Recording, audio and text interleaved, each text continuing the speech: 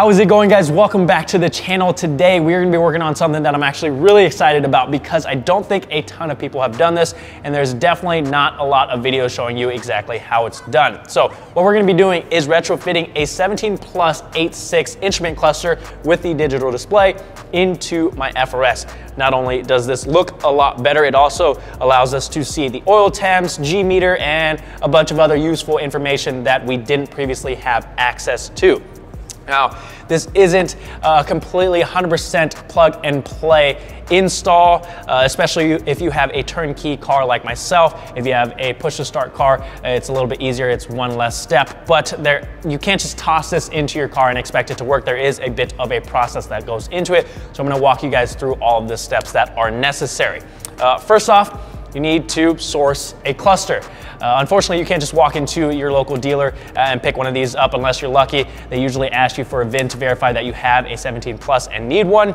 So what, did I, what I ended up doing was scouring the junkyards online and I was actually able to pick this up for about 140 bucks shipped, which I think was a great deal. Uh, I've seen these go on Facebook Marketplace for about three, $400. So I'm really happy about that. Uh, I sent it off to geraldjustprojects.com to get the mileage uh, corrected to reflect the actual mileage on the FRS, so that matched up. And then he also provided us with another essential part that is needed for the install that I'll cover in a little bit. But we're gonna hop inside the car, uninstall the old cluster, we'll get this one plugged in, make sure everything lights up, turns on, and make sure it works, and then we can move on to the next step. Inside the car, we're gonna look on the underside of the instrument hood here.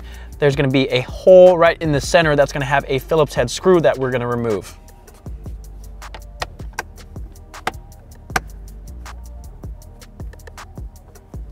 That's gonna release this trim piece on top here that we're gonna remove. Uh, what we wanna do is pull it up and towards the back of the car. It'll probably help if you have a trim panel removal tool to get in the edges and pop that out. Uh, of course, I don't currently have one of those, so we're just gonna have to finesse this.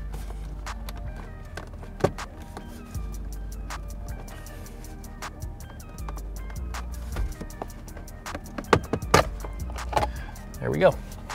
Underneath that piece, there's gonna be two more Phillips head screws that we're gonna remove.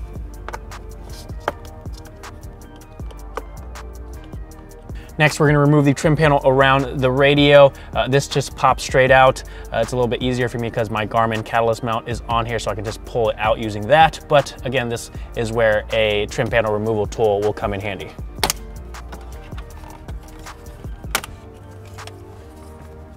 That's gonna allow us to release this piece here that's in front of the cluster. This houses the odometer, trip, and display button. Again, we're gonna wanna pull this straight towards the back of the car on both sides. There we go. All right, so we don't need to take this completely out. Uh, this gives us ample room to get the cluster out and the new one installed. So now we can remove the old cluster. We just need to pull it towards the back of the car. There's two clips on the back side that's holding it in place, as well as a connector that we're gonna need to disconnect once we get it popped out here. Okay, so I'm just gonna reach back here, it's not too difficult to remove that connector. Then we can pull it straight up and out. We'll slide the new cluster into place. Reconnect the harness on the back here. That should just clip in. And then we can press it back into the slot. And now before I put anything back, uh, we are gonna just run through real quick and I'm gonna put the car into the on position just to make sure all the lights turn on. Oh, my wipers are on. And I can see that all of the lights and the display works correctly. So that is awesome to see. Uh, but here's the thing. Uh, without any steering wheel controls, I have no way of controlling that digital menu. And when I try to start the car, nothing happens. So that is, uh, those are gonna be the next steps that we are going to take care of. Uh, I'm gonna take this back out of the car uh, before I do any of that and give you guys kind of a side-by-side -side, uh, comparison from the old one to the new one, uh, and then we can get back into it. Got the new cluster on the left and the old one on the right. The background on the new one is just a matte black, which uh, I'm a huge fan of as opposed to the kind of scale pattern on the old one. Uh, you can see the color scheme is essentially the same. So we've got the white background on the tach with dark gray numbers. The needles are exactly the same. The tach on the new one is a little bit more compressed because of that digital display, uh, but the numbers are a little bit, bit, a little bit bigger, which I think looks just a tiny bit better. The speedometer looks the same. Uh, you can see that the rings that go around the speedometer, tach, and the digital display are silver on the new one. And on the old one, just that tach uh, is silver with the kind of dimples that go around and accent uh, the edge there. And obviously the biggest difference is the digital display on the right side, uh, whereas the old one has the fuel and temp gauge. So uh, that is a side-by-side -side comparison. Uh, like I said, I think this new one looks a whole lot better. So I'm excited to get this in there and get everything working. All right, so we've got two different problems, right? The first one being the car does not start with the new cluster installed, and that is because on turnkey cars, it's part of the immobilizer system. On a push to start car, it should start right back up and it shouldn't be a problem whatsoever. Either way, we're both gonna run into the second problem, which is not having a way to control that menu on the digital display without any steering wheel controls. And that is where this little guy comes in. This is a kit from Gerald Just Projects, as I mentioned before. This allows you to control that menu and you can mount this little control board either on the key, uh, the key blank cover if you have a push to start or in between your traction control buttons if you have a turnkey car, which is what we are gonna be doing. Comes with the board itself, which has a joystick and select button to control the menu. Comes with a harness that we're gonna plug into the connector that plugs into the back of the uh, cluster. And then this little 3D printed housing that replaces the cover uh, of the traction control buttons. Now I'm not a big fan of the mismatched black since I have the silver buttons, so I may try, try to find a way of fitting this into the existing cover. Should just need to Dremel, cut out and drill a little bit, but we should be able to make it work. So we're gonna take care of this first, and then we'll get into the whole not starting issue. We're gonna remove the traction control buttons first so that we can get the control board fitted into the middle slot. We just need to remove the shift knob and pull this trim piece up. Once the shift knob is off, we're just gonna reach into the shifter trim here and pull it up. We're gonna pull up on the front side here first and then kind of pull it towards the front of the car like so.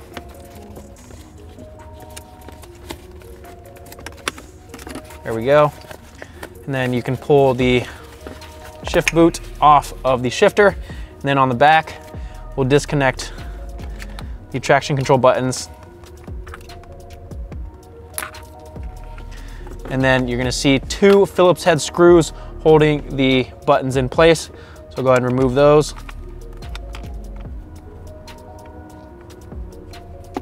And then this just pops out. Got the traction control buttons off of the car. We need to remove this back section here, this gray section, to get to the back of the uh, center cover to remove it. So what I did was stuck a small flathead screwdriver into this slot right here and this slot to release these little retaining clips. Uh, there's two on each side, right there. So I've already done that. So I should be able to just pull this piece out like so. And then there's a little rubber piece here that we'll take out. And if we take a look inside here, you can see two kind of tabs uh, in the center cover that we'll need to pull towards the center of the button. So I'll be able to do that with my nail here for one. Okay, so while I'm pulling that towards the center, I'm kind of pushing uh, the cover out away uh, with my other two fingers on my left hand here. So now I've got that one released. I'm gonna take a flathead screwdriver and release the one on the right side. And then I should be able to pull the cover off, like so.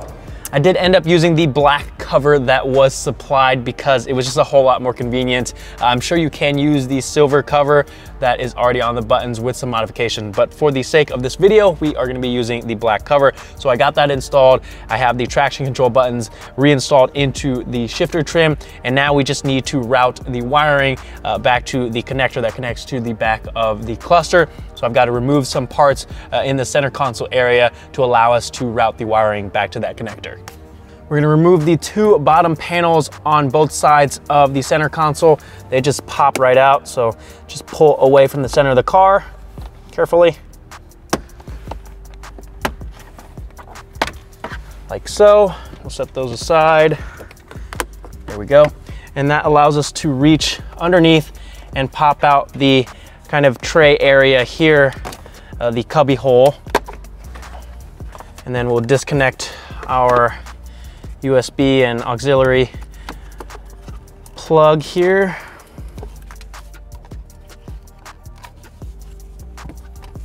And now that gives us access to this area. And now I'm going to remove the radio next. To remove the radio, there's gonna be four 10 millimeter bolts, two on each side that we'll need to remove, and then we should be able to slide it out and unplug it.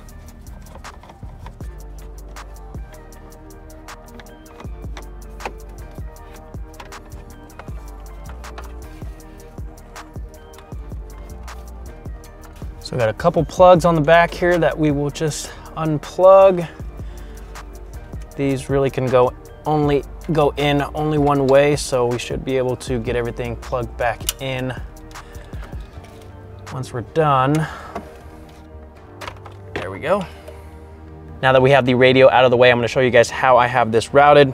So you can see the cable here comes out of the traction control buttons and it goes down to the right side of the shifter. I kind of just follow along the harnesses on the right side there and then they go into the cubby hole uh, and you can just reach through here and feed it up into where the radio is and from the radio area you can just go over to the left side and sneak it through to this connector here. I'm gonna show you guys how to get the pins installed. So this is the connector that goes to the cluster.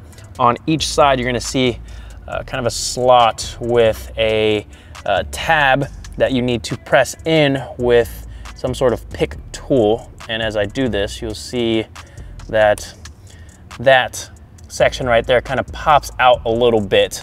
And you need to do that for both sides. So I'll try and get this side.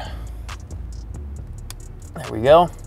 So now that I have both sides, you can kind of tell that this long section here popped out just the tiniest bit.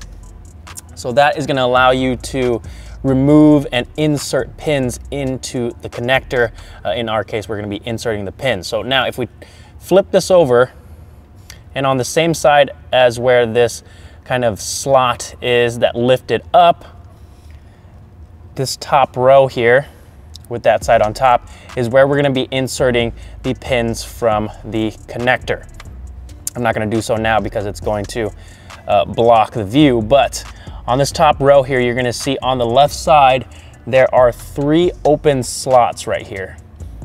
So the furthest one to the left here, the open slot is pin number 23. The red cable goes into that pin and then three away from that, which is pin 26, that is going to be the gray cable that inserts into there. And then three away from that, which is pin 29, you're going to insert the black cable. So again, from the left side to the right side, it goes red cable into pin 23, gray cable into pin 26, and then black cable into pin 29.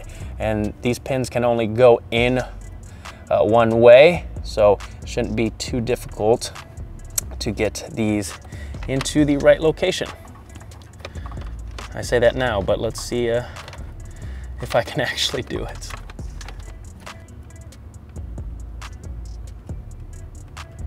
And then once you insert it, should hear a little click, an audible click if you listen closely. So I've got the red one in there. Now I need to get this gray one. But once you hear that click, you shouldn't be able to pull it out. Got the last one, which is this black one.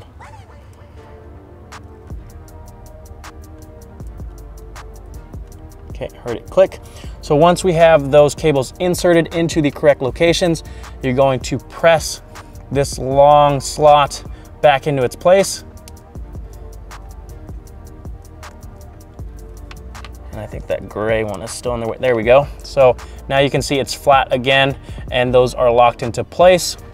So now we should be good to go to install the cluster and get this plugged in and we will be able to control the menu using the new uh, joystick and button.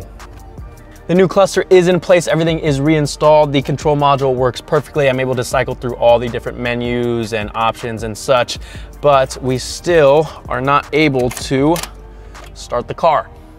So to solve that issue, I picked up basically a knockoff TechStream uh, cable that comes with the software as well on Amazon. And I've got the software loaded onto my laptop. Now this is a MacBook, but I have Windows uh, loaded on here uh, through Boot Camp. So you do need a Windows operating system to run the TechStream software.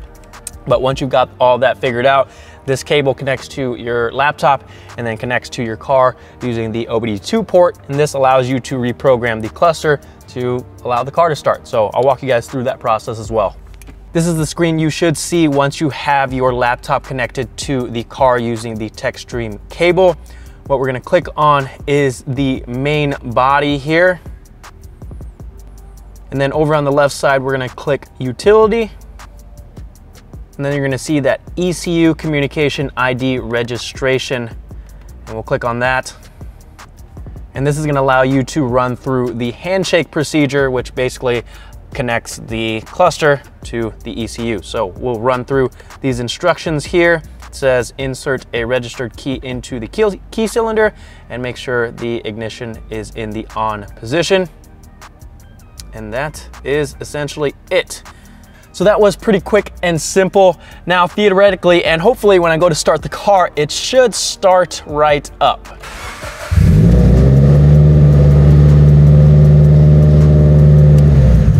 All right, so that is a really good sign. I honestly was not 100% sure that this was gonna work because the, well, it's a really cheap cable. I think the real TechStream cables are hundreds of dollars and this was about $50. So I uh, saved a ton of money there.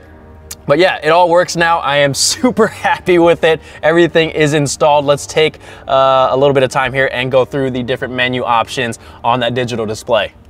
To control the menu, this top section here is the joystick, so you can go up, down, side to side. And then if you press it, that is the select button. And then this button down here is the back button.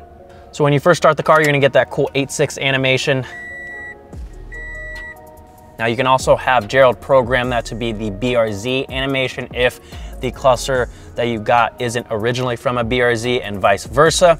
On this first menu here, you can see we've got the fuel economy information. So we've got miles per gallon, average miles per gallon, and distance until empty. If I go down, you've got some more trip information. And then down one more, this screen gives us our water temp, oil temp, and the voltage meter which is essentially what I wanted this digital display for. And then if we go over to the right, we've got a couple G meters.